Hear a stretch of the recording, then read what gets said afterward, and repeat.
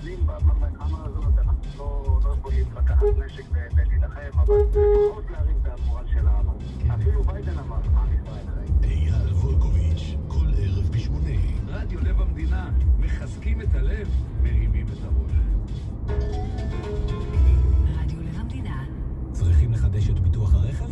אנחנו בכלל ממתינים לכם עם הצעה משתלמת. כוכבית 2222 או פנו לסוכן או סוכנת